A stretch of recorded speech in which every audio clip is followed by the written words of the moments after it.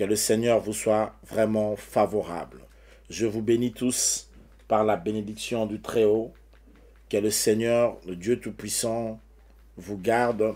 Que Dieu Tout-Puissant vous bénisse. Que Dieu Tout-Puissant vous protège. Dans le nom de Jésus de Nazareth. Que le Seigneur vous garde et qu'il vous fasse énormément du bien. J'espère que vous allez bien et j'espère que tout se passe au mieux chez vous, là où vous êtes. Alléluia. Allez, que Dieu Tout-Puissant vous bénisse. Maranatha. Alors, normalement, je devais continuer avec Extermine. Je ne vais pas aller si vite en besogne. J'ai comme l'impression que ce point ici, je ne l'ai fini toujours pas. Et vous savez, je suis parfois déterministe. Quand je dois faire quelque chose, parfois aussi perfectionniste. Je dois sentir que je suis arrivé au bout de ce que je suis en train de dire. Sinon, quand je sens que je ne suis pas encore au bout, c'est pas toujours bien. Alléluia.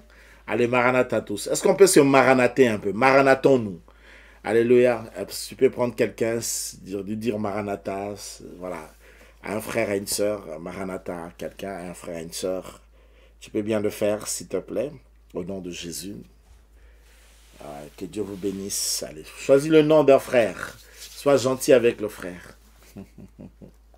Dis-lui Maranatha. Alléluia. Choisis le nom d'une sœur. Alléluia. Surtout une personne que tu, n'as jamais dit Maranatha. Choisis-lui. Dis-lui, ah, toi, je ne t'ai jamais dit Maranatha. Maranatha, toi là-bas. Et toi aussi, quand tu vois sur le chat, on te fait un Maranatha, tu répliques avec un Maranatha. Alors, beaucoup de gens se demandent, Maranatha, c'est la salutation chrétienne qui annonce le retour de Jésus. C'est une salutation de la parousie. Alléluia. Ça veut dire nous disons que Jésus revienne. Alléluia. Nous attendons Jésus. Nous voulons qu'il revienne. Nous prions qu'il revienne. Nous sommes l'Église. Et le Saint-Esprit et l'Église disent, viens. Ah, merci, c'est gentil. Vous le faites tellement bien. Que Dieu vous bénisse. Maranatha. Alléluia. Bon, avant d'enseigner, euh, on va d'abord prier pour les partenaires. On va prier, on va leur remettre entre les mains de Dieu. On va prendre un temps pour prier un peu pour les partenaires. On va prier. Allez, tout celui qui est partenaire, on va prier pour, eux maintenant. Alors, qui sont les partenaires? J'explique. C'est toute personne qui contribue dans ce ministère. Alléluia. Toute contribution dans ce ministère nous aide à faire l'œuvre de Dieu. Et personnellement, je prends le temps pour prier pour eux. Je parle à Dieu régulièrement pour eux. Alors, si tu veux aussi devenir partenaire, tu peux le devenir. Tu vois juste un numéro WhatsApp qui passe. Tu m'écris simplement le mot partenaire. Et c'est important pour permettre à l'œuvre de Dieu d'avancer. Ok? Voilà. Il faut que les enfants de Dieu soutiennent l'œuvre de Dieu. C'est important. C'est très important. Pour faire avancer l'œuvre de Dieu, il faut qu'il y ait vraiment des soutiens. Un homme ne peut pas tout faire. Il faut que nous soyons nombreux, que nous, nous participions. Il ne faut pas du tout être ces gens des chrétiens qui, quand il s'agit de donner à Dieu, ils râlent. Mais quand ils n'ont pas d'argent, ils viennent demander à Dieu. Vous, voyez un peu ces gens des chrétiens qui disent tout le temps, on demande l'argent à l'église, on demande l'argent. Mais lui, quand il n'a pas d'argent, il va chez Dieu demander l'argent. Quand il n'a pas de travail, il va demander à Dieu du travail. Quand il n'a pas de moyens, il part demander à Dieu du moyen. Pourquoi alors tu lui demandes?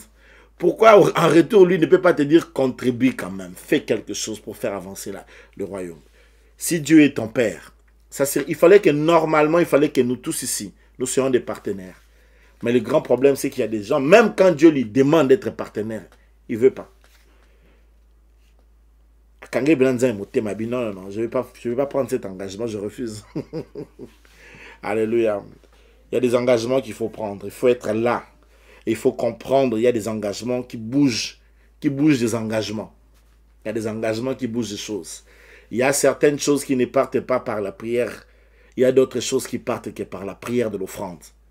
Il y a d'autres choses qui ne partent que parce que tu es partenaire. Il y a d'autres choses aussi qui viennent dans ta vie, qui ne viendront que puisque tu es partenaire. Quelqu'un peut gêner 50 jours, ça ne, lui sera pas donné. Ça ne lui sera donné que quand Dieu dit que ça c'est pour les partenaires, c'est pour les partenaires. Alléluia. En tout cas, je vais dire un grand merci à tous nos partenaires parce que vous aidez beaucoup l'évangélisation dans de plusieurs façons et dans plusieurs coins du monde. Et que Dieu vous bénisse. Est-ce qu'on peut tous prier un peu pour les bénir? Dieu des cieux, regarde leurs mains. Tu vois ce qui est leurs mains. tu vois ceux qui combattent leurs finances. Ce soir, toi-même, combat ceux qui combattent la finance de nos partenaires. Combat cela au nom de Jésus. Dieu des cieux, regarde les partenaires avec un œil favorable. Parfois, ils ont aussi des péchés. Seigneur, que ta grâce soit sur eux. Au nom de Jésus. Que leur porte de la finance ne soit pas fermée à cause des erreurs des hommes. Car leur finance est une prière. Leur offrande est une... Que leur offrande parle. L'offrande est une bouche, l'offrande est une parole. Que leur, que leur offrande parle devant toi. Que leur dîme, que leur dîme parle devant toi. Seigneur Dieu Tout-Puissant, que leur contribution parle devant toi. Et que tu combattes pour eux des combats au nom de Jésus de Nazareth. Mais aussi que tu attires vers eux les ouvertures de la finance. Donne-leur des idées d'argent, pose dans leurs mains de la finance et fais-les prospérer à tous égards. Fais-les du bien en vertu de ta force et de ta puissance. Au nom de Jésus de Nazareth, nous avons prié. Nous disons Amen. Allez, partenaires, soyez bénis, soyez riches, possédez la terre. Que Dieu soit avec vous au nom de Jésus. Amen. Bon, nous voulons maintenant partager la parole de Dieu. Que Dieu bénisse sa parole. Nous sommes bel et bien dans Deutéronome chapitre 33, 27. Je lis au nom de Jésus. Le Dieu d'éternité est un refuge, et sous ses ailes, Deutéronome 37, 23, sorry, c'est ça. Je dois d'abord attendre que vous, vous, soyez prêts. Je suis allé peut-être vite en besogne. Deutéronome 33, verset 27.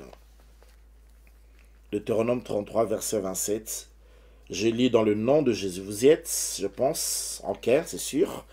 Allez, Deutéronome 33, verset 27. Je lis au nom de Jésus. Le Dieu de l'éternité est un refuge.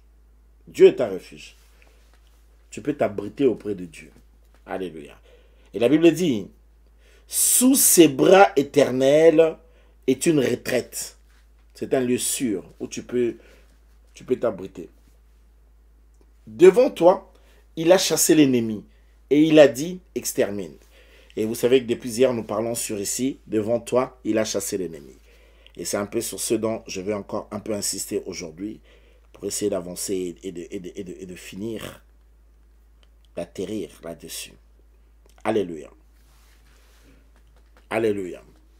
Alors je disais pendant cette semaine, depuis hier, qu'il y a des gens humains, il y a des humains comme ça qui sont envoyés par le diable.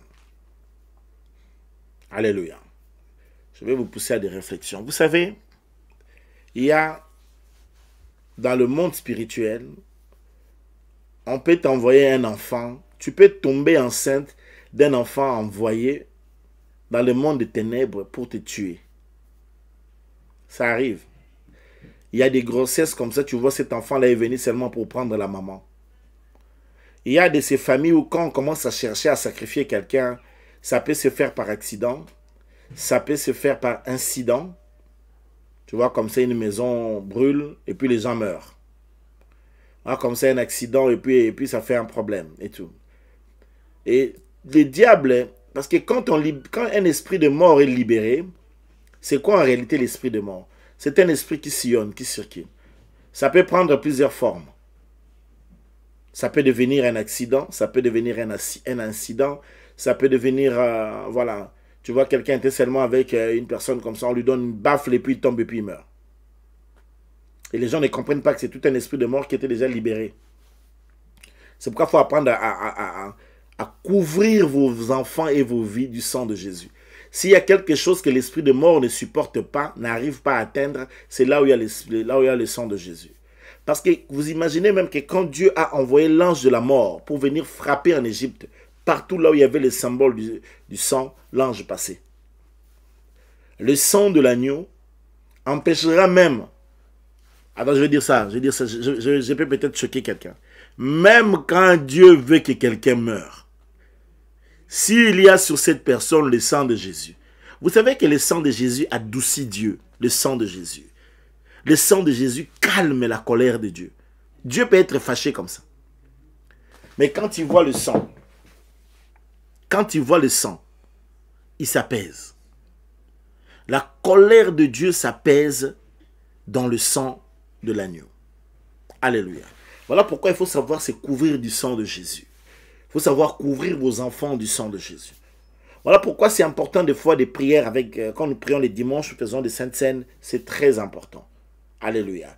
Parce qu'il n'y a rien qui calme la colère de Dieu comme le sang de Jésus.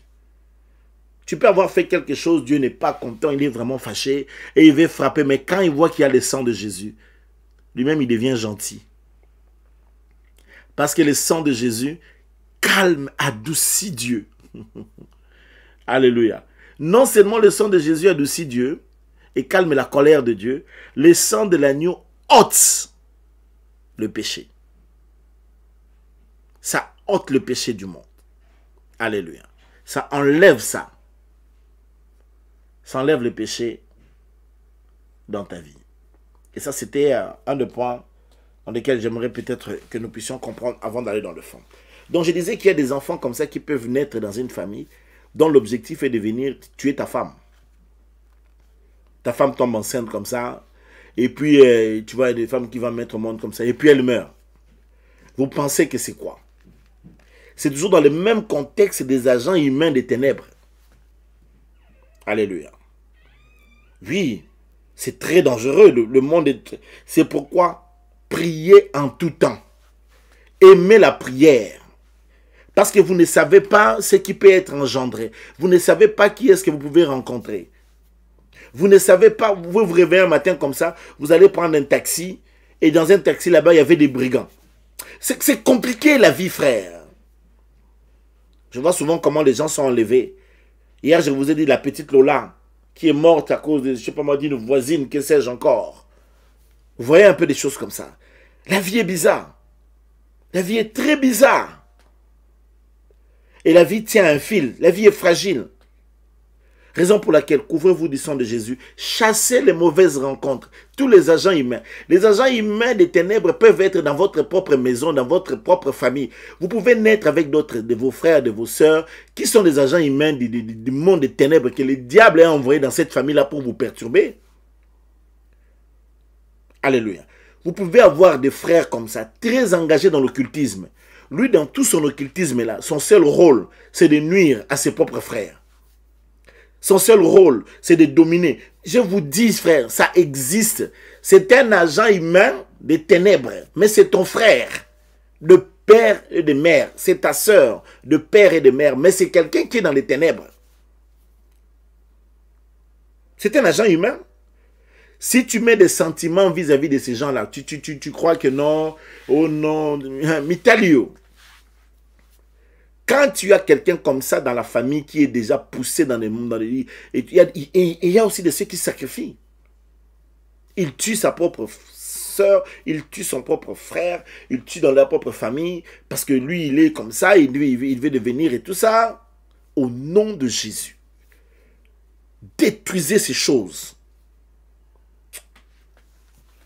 Attendez, quand je viendrai parler sur extermine, ça, ça, ça beaucoup beaucoup là beaucoup là. Ça sera l'opération match alléluia. Donnez-moi un amen.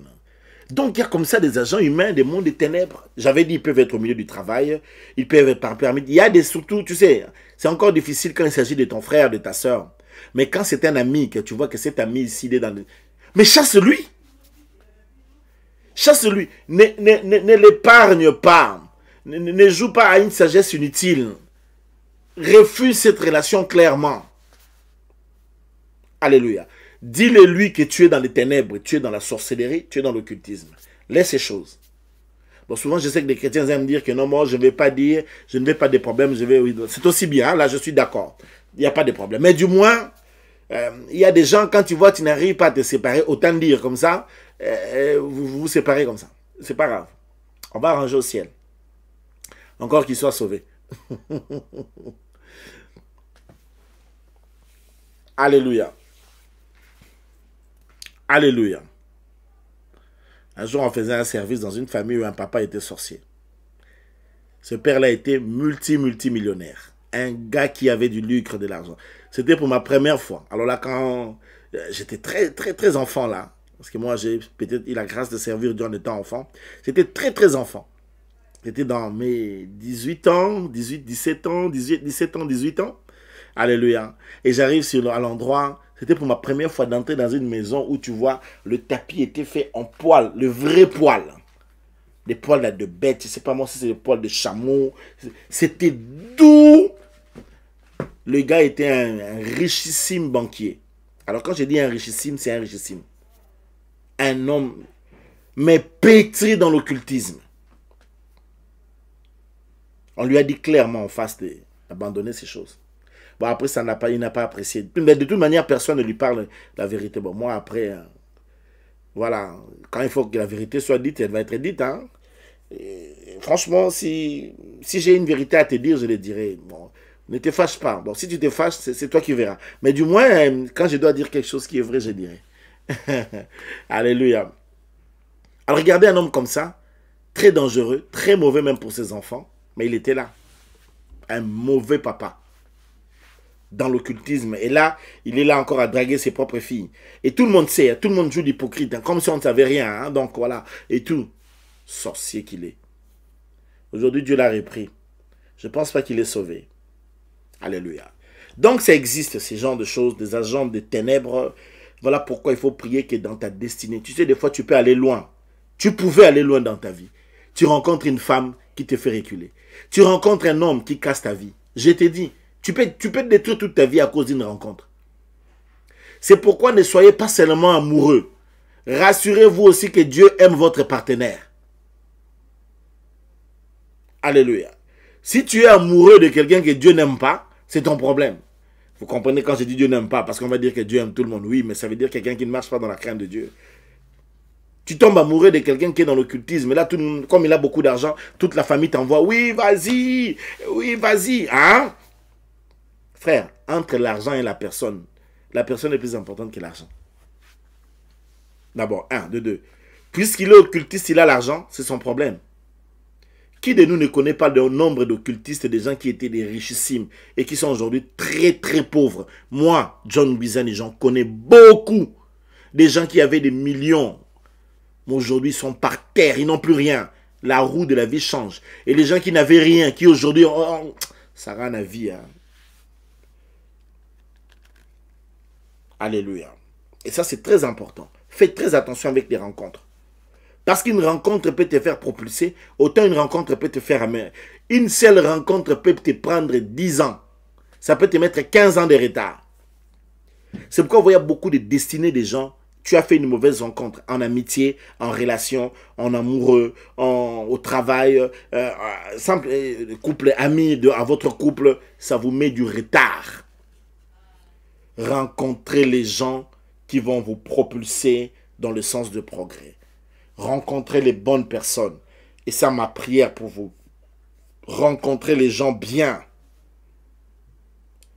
Et vous verrez la bénédiction et que Dieu vous bénisse. Alors, deuxième point, pour qu'on puisse, continue.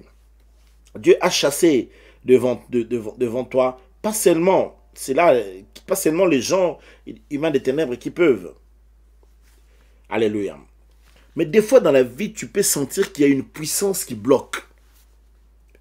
Alors on laisse un peu les humains. Ici, on parle ici d'une force. Tu veux faire quelque chose, mais tu sens qu'il y a une résistance, il y a une puissance quelque part. Donc, euh, il y a quelque chose. En fait, il y a un mur que tu n'arrives pas à, franchir. Tu n'arrives pas à briser le plafond de verre. Tu, n'arrives pas à accéder à certaines choses. Tu sens vraiment qu'il y a une puissance qui te résiste. Alléluia. Quand vous lisez la Bible, dans la destinée glorieuse d'Israël, il y a eu ça. Il y a eu la muraille de Jéricho, il y a eu des géants fils d'Anak, il y a eu des Gabaonites, il y a eu des Jébusiens, il y a eu euh, euh, les gens de Haï, il y a eu, euh, voilà, il y a eu toutes ces peuplades de, de, de, de Canaan qui voulaient leur empêcher d'aller dans la terre promise. Et donc, ces genres de choses, ça existe.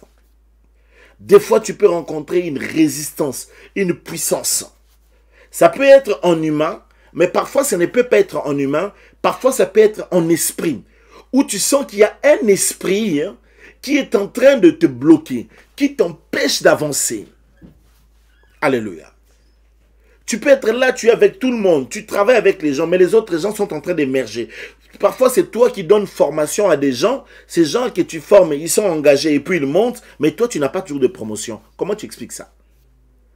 Parfois, il y a des esprits comme ça qui viennent et qui se sont levés. Et il y a beaucoup de réalités spirituelles sur ce point ici.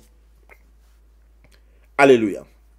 Qu'est-ce qui fait que des fois, tu sens ça? Alléluia.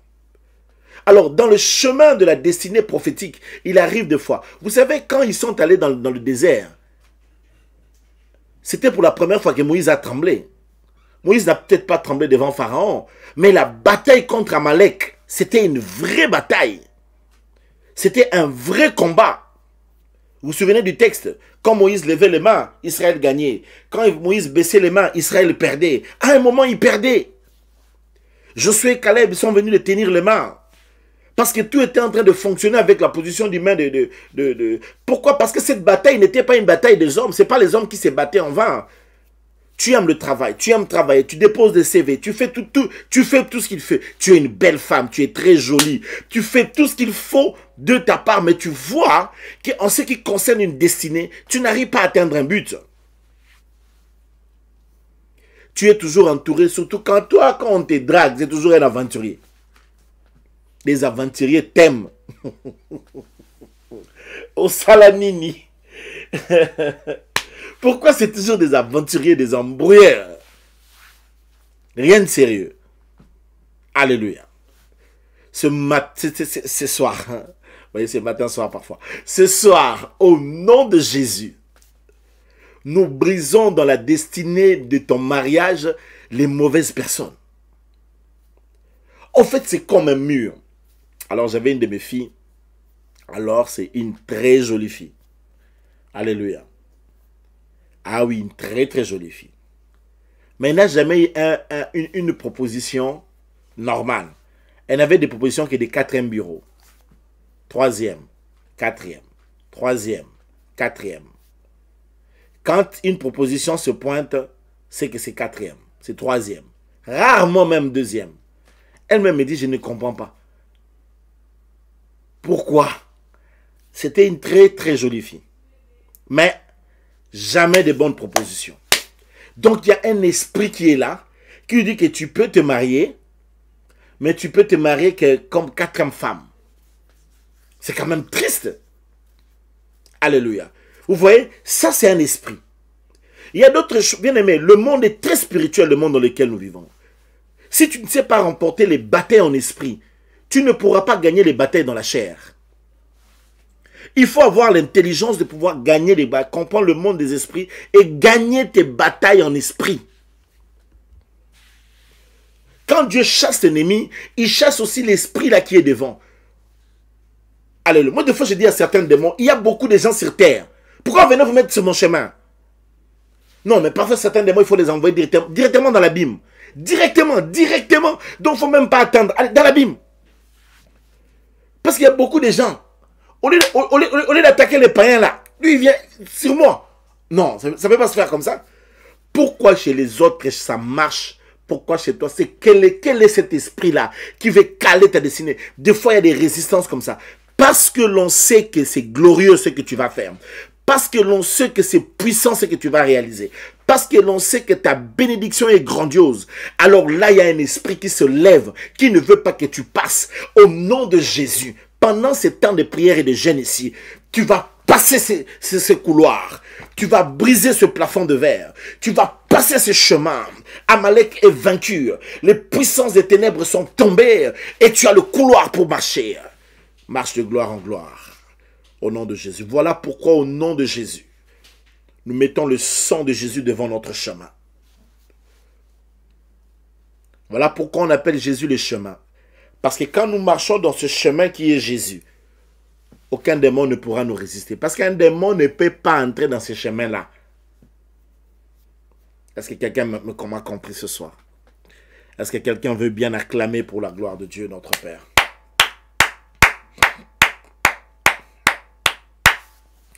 Que Dieu Tout-Puissant vous bénisse. Maranatha. Alléluia. Donc il y a des esprits comme ça qui te résistent. Brise ça. La Bible dit Dieu a chassé. Il les a chassés. Alléluia. Tu regardes vraiment dans votre famille, si tu prends un temps, tu étudies votre famille, tu vas voir qu'il y a certains défis qui vous résistent. Ça a résisté à ton père, ton père est mort, à ta mère, ta mère est mort. Tu regardes même dans, les autres enfants, dans le cousin, cousine, tu vois, il y a cette situation. Tu penses que c'est quoi? Tu crois que c'est un hasard? Tu penses que c'est quoi? Dis-moi c'est quoi C'est un monde spirituel. Le monde n'est pas que physique. C'est pourquoi utiliser, la Bible dit, prenez toutes les armes de Dieu. Jeûnez. Quand, quand on doit jeûner. Quand on jeûne là, jeûne. Prie. Quand on prie la prie. Ne prends pas ta vie à la légère. Parce qu'il y a des gens que Dieu a déjà bénis, mais ils n'arrivent pas à accéder à leur bénédiction parce que les esprits sont contre ça. ils sont contre lui. Alléluia. Quand il faut donner les offrandes, donne les offrandes parce qu'il y a d'autres batailles qui ne tombent qu'avec les offrandes. Il y a de ces batailles que tu peux gêner, ça ne marchera pas il faut les offrandes. Prenez toutes les armes de Dieu, marche dans la sanctification, arrête les désordres, arrête la vie de péché. Jusqu'aujourd'hui, on a encore été prêché sur l'impudicité, on a encore été prêché sur des péchés. Il y a, d'autres péchés qui sont démodés. Je te dis qu'il y a des péchés qui sont démodés. Il y a ma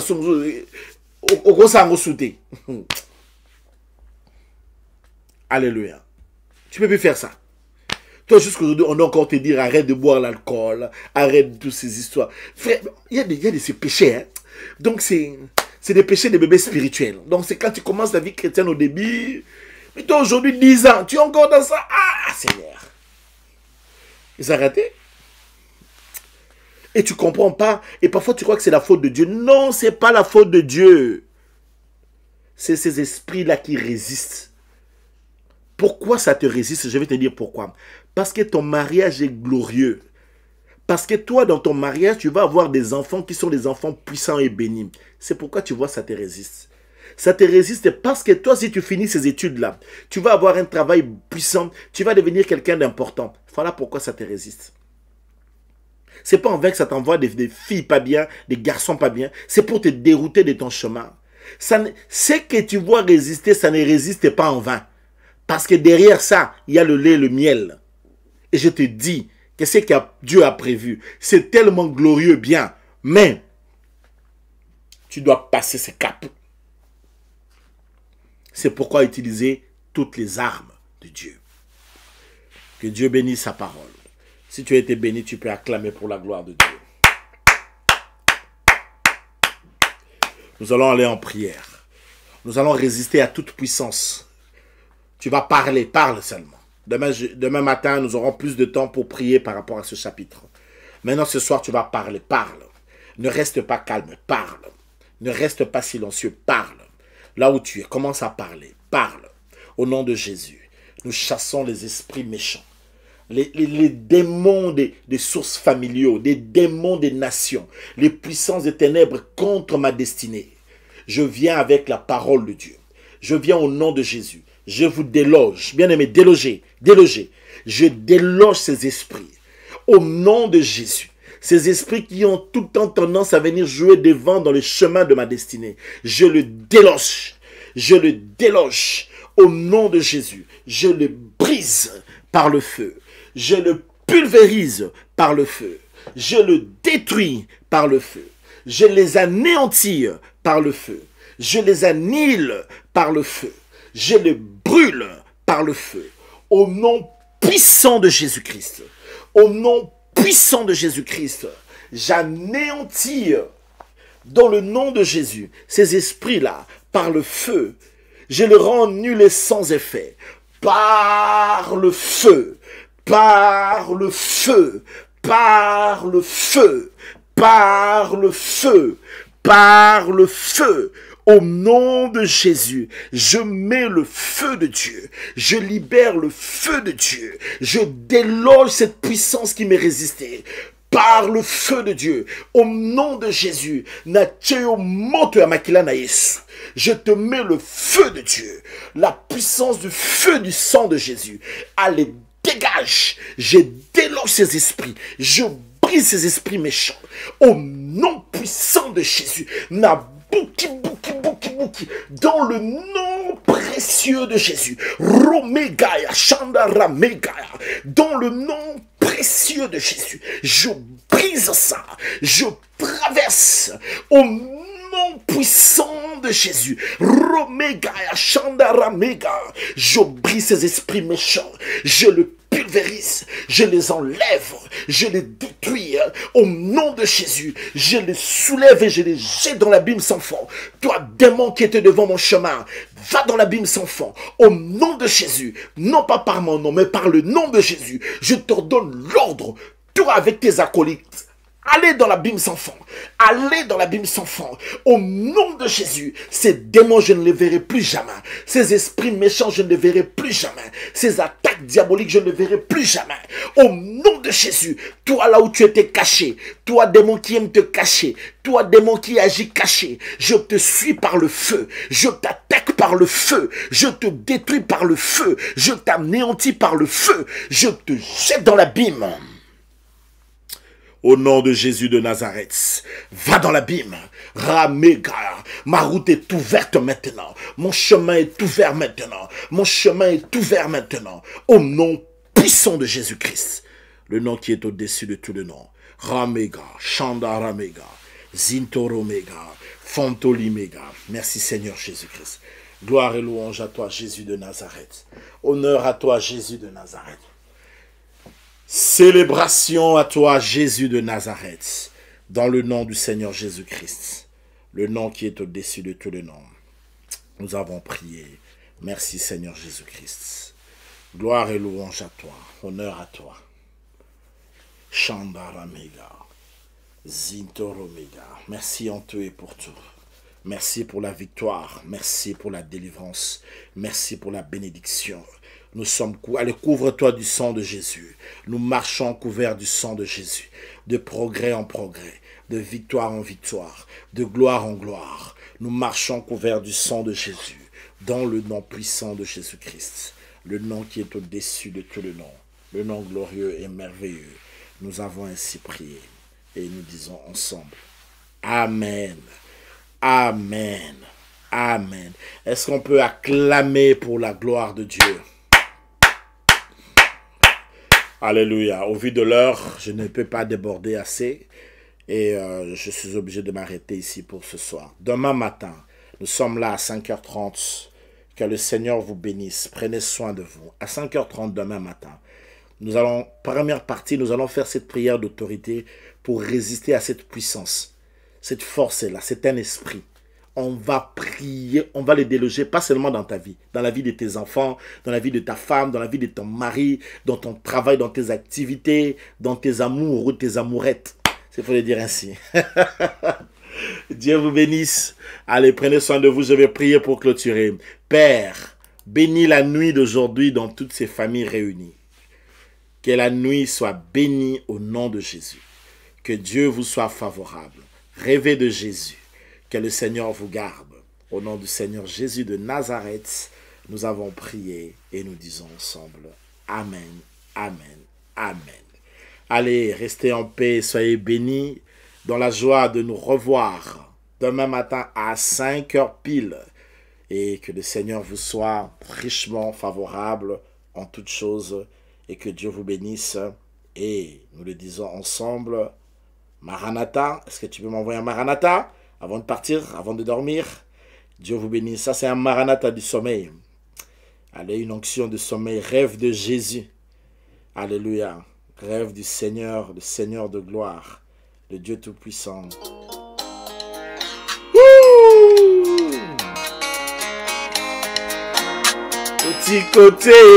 Aïe aïe. Aïe nanga. Kino namona bilaka na yo eh, eh. Oh, oh. nakotikote ayae nakotikote aya nanga kino namona bilaka na yo yawe eh. papa yo nde nani papa yo nde napona papa yo nde obenganga papa yo nde osikonga papa yo nde oza malamu aoyebanga eh. nakotiko te aya e eh. nakotiko te aya nanga kino namona bilaka na yo e.